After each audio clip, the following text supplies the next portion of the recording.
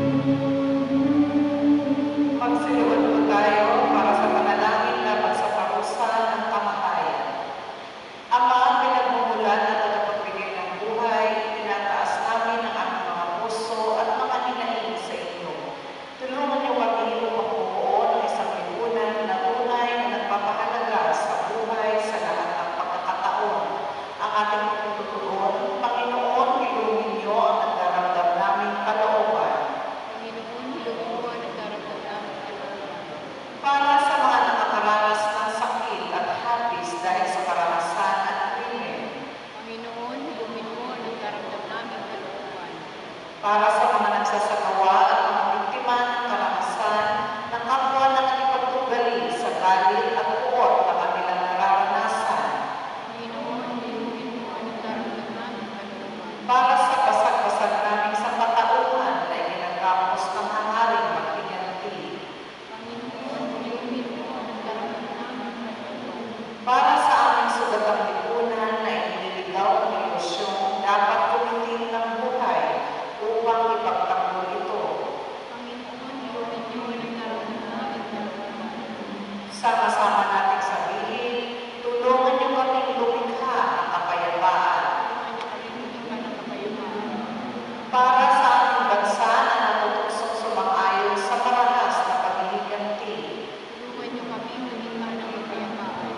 para magkaroon ng panindigang kilalanin at itaguyod ang daman ng lahat ng mga tao. Para magkaroon ng karunungan makita na ang karungkaan, kaunan ng katarungan at katulungan ng edukasyon ng hanap buhay ang maaaring ugat ng kriminalidad. Para